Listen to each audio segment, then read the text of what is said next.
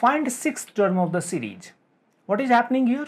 2, 7, 14, 23. We are not getting any, any idea how 2, 7, 14 and 23 are interrelated. If we will try to bifurcate based on the odd even that is also not possible. One is even, then odd, again even, odd. But what is the difference and how it will be interrelated arithmetically? That we have to find. The series is basically a, a square and difference based.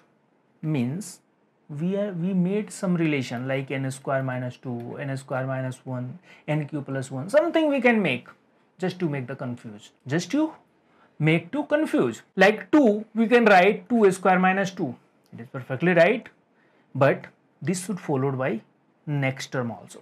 Next term is 7 3 square minus 2 it is okay. It is following. 14 4 square minus 2 perfectly right.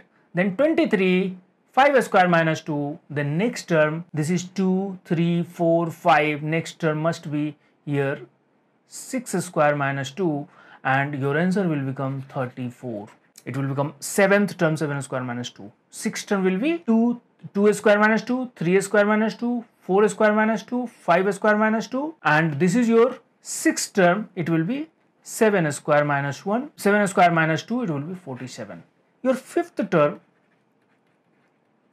will be equal to 6 square minus 2 that is 34.